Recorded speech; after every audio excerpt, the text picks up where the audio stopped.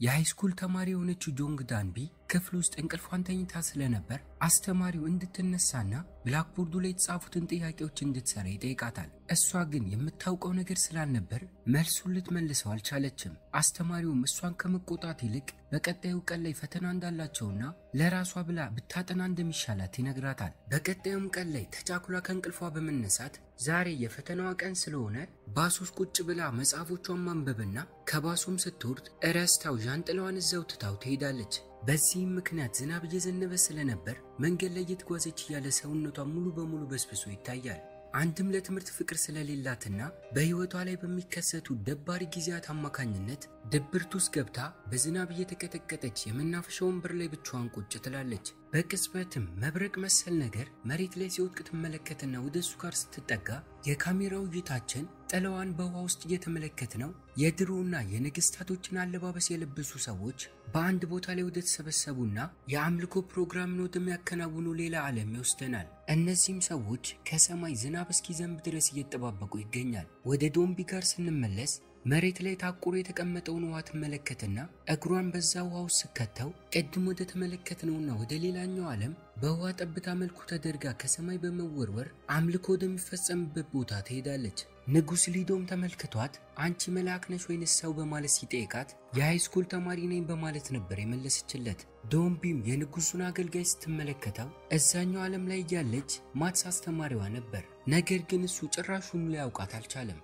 በተመሳሳይ መልኩ የዚህ ከተማ ወደፊት ንግስትን ብትሆን ከትምህርት ቤት ጓደኛዋ ሶዩን ጋር አንድ አይነት መልክ ነበር የነበራት። ከደቂቆችም በኋላ ንጉሱ ዶምቢን ወደ ቦታው እንድትመጣ ያስጠራትና ከሰማይ ተልካ ስለመጣች ከሰዎች በሙሉ የሚለይ ኃይል አላት ብሎ ስላሰበ ከቻይና ነው ወይ ተልከሽ የመጣሽው በማለት ይጠይቃታል። እሷም ከወደፊተኛው ዓለም እንደመጣችና ጭንቅላት የሚፈልጉ ስራዎችን የትኛውንም ነገር ማትስን ጨምሮ በቀላሉ ማድረግ እንደምችል ትነግረዋለች።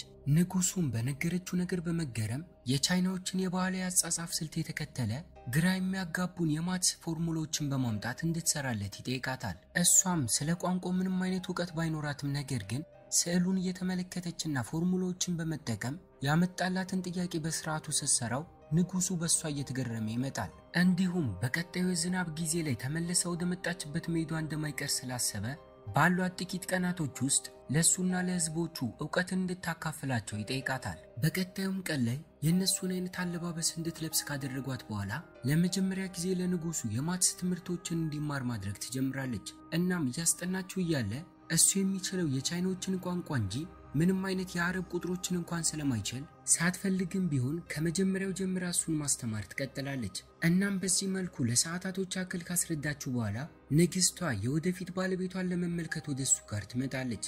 እሷም እያስጠናችው ስለነበርና ንግስቷን ስትመለከታት ከትምህርት ቤት ጓደኛዋ ጋር መልካቸው አንድ አይነት ስለሆነ በተመለከተችው ነገር ግራ እየተጋባች ትመጣለች። እንዲሁም በኋላ ላይ ንጉሱ ምግብ እየተመገበ ትመለከተውና ህዝቡ የሚጠጣው በቂ ውሃ እንኳን እንደሌለው፣ ስለዚህ ሁሉንም በኩል አይን ለመመልከት መሞከር እንዳለበት ልታስረዳው ትሞክራለች። ከዚህም በተጨማሪ ወደዚህኛው ዓለም ስትመጣ የትምህርት ቤት ቦርሷን ይዛው ስለመጣች በውስጡ አንዳንድ ምግቦችን ይዛ ስለነበር ለንጉሱ አውጥታ ትሰጠውና እንዲመገብ ታደርገዋለች። እሱም ያለመደውን ምግብ በመመገቡ በቀጣዩ ቀን ላይ በሆድ መመሰቃየት ይጀምራል። ትላንትና ዶምቢ እንዲበላ ያደረገችውን ምግብ ሲያስታውስ እሷ እንደመረዘችው ማሰብ ይጀምራል። እሷም ይሄ ነገር የሆድ ህመም መሆኑን እየነገረችውና ስለ ሰውነት አካላት አንዳንድ ነገሮችን ከእሱ ጋር ማውራት ትጀምራለች። ከእነዚህም መካከል የሚያፈቅራትን ሴት ሲመለከት የልብ ምቱ በፍጥነት መምታት ሊጀምር እንደሚችል እንዲሁም ስለ ሌሎቹም የሰውነት አካላት ጥቅም አንዳንድ ነገሮችን ስትነግረው ባላት እውቀት የበለጠ እየተገረመ ይመጣና መንደር ውስጥ ወደሚገኙት የባህል ዶክተሮች ጋር ይወስዳትና እነሱንም እንድታስተምራቸው ይነግራታል። በዚህ መልኩ ቀናቶች እየተቆጠሩ በመጡ ቁጥር ዶምቢ ከንጉሱ ጋር ያላት ግንኙነት እየጠበቀና ልክ እንደ ጓደኛሞች እየሆኑ ይመጣሉ። ነገር ግን በእነዚህ ጊዜያቶች ውስጥ ከዶምቢ ጋር ብዙ ጊዜያትን እያሳለፈና የወደፊት ባለቤቱ ንግስቷን እየተዋት ስለመጣ የንግስቷ አባት የእራት ፕሮግራም እንዲዘጋጅና እሷም አጋጣሚውን ተጠቅማ ንጉሱን በማማለል ከእሱ ጋር አሪፍ ጊዜያትን እንድታሳልፍ ሀሳብ ያቀርብላታል። አባቱ ያላትን ነገር ለማድረግ ሞክረ የነበረ ቢሆንም ንጉሱ ሙሉ በሙሉ ትኩረቱን ወደ ዶምቢ ጋር ስላዞረ ሊሳካላት አልቻለም።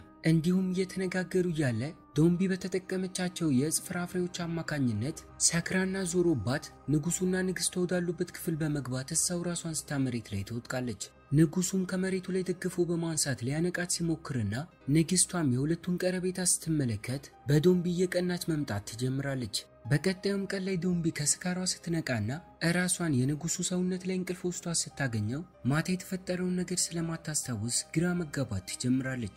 የንግስቷ አባትም ቢሆን ዶምቢ ከንጉሱ ጋር አንድ ክፍል ውስጥ ምሽቱን በሙሉ ስላሳለፈች ground ክፍል ውስጥ ወደሚገኘው የእስር ቤት ክፍል እንድትገባ ያስደርግና ከንጉሱ በታች ያሉትን ባላባቶች በመሰብሰብ ዶምቢን ከዚህ ከተማ ለማስወጣትና ላደረገችውም ነገር ለመቅጣት ንጉሱ ባለበት እንዲወያዩ ማስደረግ ይጀምራል። ንጉሱም ለዶምቢ ሊከላከልላት ስለፈለገ እሷ ባለፉት ጊዜያቶች ውስጥ ብዙ ነገሮችን ለዚህ መንደር እንዳስተማረችና ያደረገችው ነገር ጥሩ ስለሆነ እሷን መቅጣት እንደማይገባ ይናገራል። እሷም ብትሆን በከተማው ሰዎች መካከል ያላትን ተቀባይነት ለመጨመር ስለፈለገች በቀጣዩ ቀን ላይ ሸንበቆ መሰል ቀጫጭን እንጨቶችን በመጠቀምና በእንጨቶቹ መካከል ውሃ ካለ ገደብ እንዲፈስ በማድረግ የፀሐይን መውጣትና መግባት ሳይጠብቁ በቀላሉ ሰዓት አቆጣጠርን ለማስለመድ መሞከር ጀመረች። እንዲሁም በቀጣዩ ቀን ላይ ንጉሱ በመናፈሻ ውስጥ እያለ ዝናብ መዝነብ ይጀምራል። እናም ዝናብ ከዘነበ ወደ መጣችበት ዓለም ተመልሳ እንደምትሄድ ስለሚያስብ ከመሄዷ በፊት ላይ አስቆማት በአፋጣኝ ወደ እሷ ጋር እየሮጠ መጓዝ ይጀምራል። ነገር ግን ወደ እሷ ጋር ሲደርስ እያለቀሰች ነበር ያገኛት። ምክንያቱም የውሃ ጠብታዎችን በመጠቀም የከተማው ነዋሪዎች በቀላሉ ሰዓት እንዴት መቁጠር እንዳለባቸው ልታስተምር ሞክራ እንደነበር፣ ነገር ግን የሰራችው ፕሮጀክት እንዳልተሳካላት በመናገር እሱ እየተመለከታት እዛው ማልቀሷን ትቀጥላለች። እሱም ከዚህ በኋላ ጊዜ እንዳላትና ተረጋግታና ደጋግማ በመሞከር እንደሚሳካላት እያጽናና ይነግራታል። ንግስቷን ብትሆን ዶምቢ ወደ መጣችበት ከተማ ተመልሳ እንዳትሄድ ንጉሱ ሊያድናትና ሊያስቆማት እንደሞከረ ስትሰማ ወደ ክፍሉ በመግባት ክፍሉን መበርበር ትጀምራለች። ውስጥ ላይም ከዚህ ቀደም ከዶምቢ የተሰጠውን ስጦታ ትመለከትና በክብር አስቀምጦ ስለነበር ከእሷ ፍቅር እንደያዘው ማሰብ ትጀምራለች። ከንጉሱ ወታደሮች መካከል አንደኛውም ዶምቢን ወደ ከተማው መልሶ እየወሰዳት እያለ እንደ ደከማትና እረፍት ማድረግ እንደምትፈልግ በመናገር ጫካ ውስጥ እረፍት እያደረገች እያለ እሷ ማለት ሌሎቹ እንደሚያስቡት የተለየች ፍጥረት እንዳልሆነችና ስለ ደከማት ብቻ ልክ እንደነሱ ሰው መሆኗን ያውቅባት ጀመር። ነገር ግን ይሄ ነገር እየተፈጠረ እያለ ሽፍታዎች ወደ እነሱ ጋር በመምጣት ሊያጠቋቸው መሞከር ጀመሩ። ወታደሩም ዶምቢን በፈረስ ላይ ጭኖ ከዚህ ቦታ እንዲሸሽ ካደረጋት በኋላ እሱ ከሽፍታዎቹ ጋር እዛው ጫካ ውስጥ መዋጋቱን ይቀጥላል። በተመሳሳይ መልኩ ንጉሱም ቢሆን የተፈጠረውን ነገር ካወቀ በኋላ በፈረስ እየተጓዘ ያፈላልጋትና ዶምቢን ባህር ዳርቻው አካባቢ ያገኛታል። እንዲሁም ምንም አይነት ቃል ከአንደበቱ ሳይወጣ ከፈረሱ ላይ ወርድና ሲስማት እናያለን። ከዚህም በተጨማሪ ምሽቱን እዛው ባህር ዳርቻው ላይ እሳት አቀጣጥለውና ቁጭ ብለው ማሳለፍ ይጀምሩና በውሃው ላይ አልጌዎችን ተመልክታ እንደነበርና ይሄም ክስተት በውሃ ጠብታ አማካኝነት የሰራችውን የሰዓት አቆጣጠር ለምን ሊሳካ እንዳልቻለ እንድታውቅ እንደረዳት ትነግረዋለች። በቀጣዩም ቀን ላይ ወደ ግዛታቸው ከተመለሱ በኋላ በሸንበቆ የሰራችውን የውሃ ማስተላለፊያ ትቦ ማጽዳት ትጀምርና በውሃ አማካኝነት የተፈጠሩትን አልጌዎች በማስወገድ ውሃው በስርዓቱ መንቀሳቀስ ጀምሮ በስትክክል ሰዓቶችን በዚህ መልኩ መቁጠርና ለህብረተሰቡ ለማንጸባረቅ መሞከር ትጀምራለች። እንዲሁም በቀጣዮቹ ቀናቶች ላይ ሁሉንም ችግሮቿን ለመፍታት ስለፈለገች ከንግስቷ ጋር መቀራረብና በሁለቱ መካከል ያለውን የጓደኝነት ግንኙነት ማጠንከር ትጀምራለች። ንግስቷን ብትሆን ብዙ ብትሞክርም ሊሳካላት ስላልቻለ በንጉሱና በዶምቢ መካከል ያለው ፍቅር የጸና መሆኑን ማመን ትጀምራለች። ነገር ግን አባቷ በተቃራኒው ይህንን ነገር አምኖ መቀበል አልቻለም ነበር።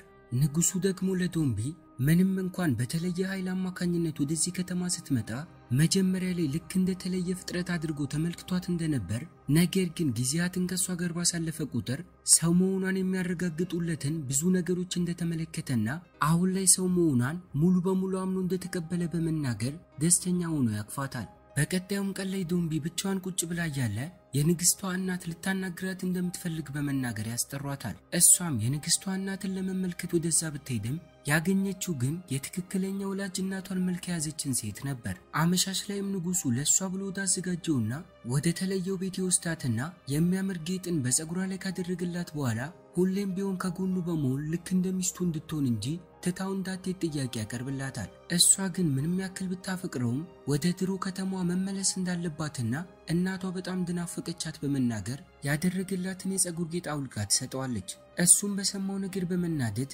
ትቷት ከዛ ቦታ በሄደ በሰከንዶች ውስጥ ጭንብል የለበሰ አንድ ሰው ሳታስበው ከኋላዋ በመምጣት ያጠቃታል። ከዚህም በተጨማሪ ራሷን ከሳተች በኋላ እዛው ክፍል ውስጥ እንዳለች እሳት እንዲነሳ አደረገ። ንጉሱም የቤቱን መቃጠል ሲመለከት ምንም ሳይፈራ ወደ እሳቱ ዘሎ በመግባት ሕይወቷን ሲያተርፍላት እንመለከታለን። በቀጣዩም ትዕይንታችን ጠዋት ላይ ዶምቢ ለንጉሱ አንድ መጽሐፍ ትሰጠውና እሱ ማንበብና መጽሐፍ በመቻሉ አማካኝነት የመንደሩ ሰዎችንም ሳይቀሩ እንዲችሉ እንዲያደርጋቸው ትጠይቀዋለች። ከዚህም በተጨማሪ ፓርቲ ወደ ተባለውና ከዚህ ቀደም ከሽፍታዎች ሕይወቷን ወዳተረፈላት ሰው ጋር ትሄድና ካለበት የውትድርና ስራ በላይ ለሙዚቃ ያለውን ፍቅር ስለነገራት መቼም ቢሆን ተስፋ እንደማይቆርጥ በመናገር ትሰናበተዋለች። በመጨረሻም ዶምቢ ዝናብ እየዘነበ ስለነበር ከንጉሱ ጋር በመሆን ወደ ባህር ዳርቻው ጋር ይሄዱና ወደ ባህር ውስጥ እየገቡ ተቃቅፈው ሲሰነባበቱ እሷም ወደ ባህር ዳርቻው ሰምጣ ስትገባና በቅጽበት ወደ ቀድሞ ከተማዋ ተመልሳ ስትሄድ እናያታለን። ነገር ግን በዚህ ሰዓት ላይ ልክ እንደ ድሮ ተስፋ የቆረተችዋ ዶምቢ አይደለችም። የፈተናዋ ጊዜ እንዳያልፍባትም በዝናብ እየተደበደበችና ሰውነቷ በስብሶ ወደ ትምህርት ቤቷ ስትሄድ እናያታለን። ነገር ግን በአሁኑ ፈተናውን ተፈትና ልታልፍ ስላልቻለች በቀጣይ እንደምታልፍ ለራሷ ቃል ገብታና በትርፍ ጊዜዋ ሱፐርማርኬቶች ስራዎችን ጀምራ እናያታለን። አንድ ቀን ላይም በሱፐርማርኬቱ ስራዋን እየሰራች እያለ በቴሌቪዥን ላይ እየተሰራጨ በነበረው የሙዚቃ ክሊፕ ቪዲዮ ላይ ከሽፍታዎቹ ሕይወቷን ያተረፈላትና ሙዚቀኛ ለመሆን ታላቅ ህልም ያለው ሰው በዚህኛው ዓለም ላይ ሙዚቀኛ ሆኖና ዘፈኖቹም እየተሰራጨ መሆኑን ትረዳለች። እናም በዚህ መልኩ ቀናቶች ቢቆጠሩም አሁንም ቢሆን ግን ስለ ንጉሱ ማሰቧን አላቆመችም ነበር። አንድ ቀን ላይም በዝናብ እየተጓዘች እያለ የንጉሱን መልክ ያለው ሰው ወደ እሷ ጋር ይመጣና በዣንጥላ ከልሎ ዝናብ እንዳይመታት ይረዳታል። እንዲሁም ከዚህ ቀደም ተገናኝተው ያውቁ እንደነበር ሲነግራት ልክ እንደሷ ከሌላኛው ዓለም ወደዚህ የመጣ መስሏት ተገርማ ነበር።